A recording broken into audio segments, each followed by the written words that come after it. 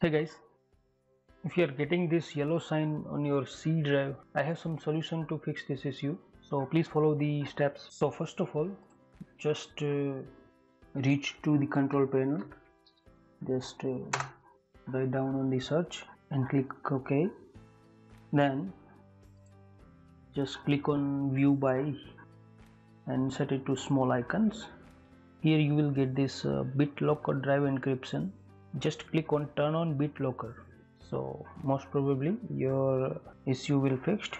If the issue is still arriving then please follow the second method.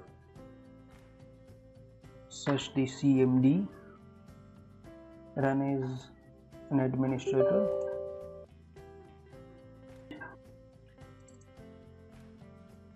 Write this command on the command prompt. I will ping this command into the description box below and hit enter to execute this command and uh, close the command prompt and switch to the my pc and see your error is fixed or not. That's it guys. Thanks for watching